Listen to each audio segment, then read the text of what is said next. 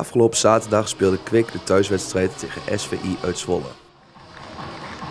Op papier een lastige tegenstander om tegen te voetballen en dat bleek ook deze middag. De eerste kans van de wedstrijd kon worden genoteerd na zo'n 20 minuten spelen. Kemna probeerde het vanaf een meter of 16, maar zijn schot ging net naast.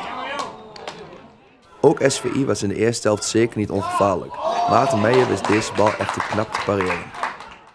In een eerste helft die verder gelijk opging, kreeg Kwik na 43 minuten spelen een vrije trap op een mooie plek. Kemna kreeg de bal voor en Huids kopte de bal knap binnen.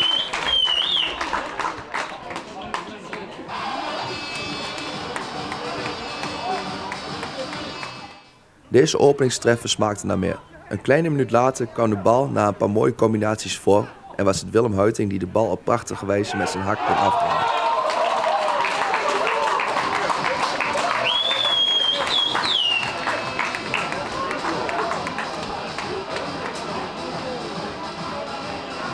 In de tweede helft ging SVI op zoek naar de aansluitingstreffer en kwam het soms erg dichtbij, zoals hier.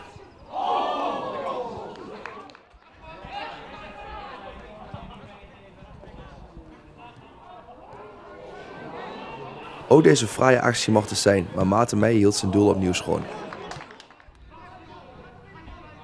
De beste kans voor Kwik in de tweede helft was voor Swieneberg.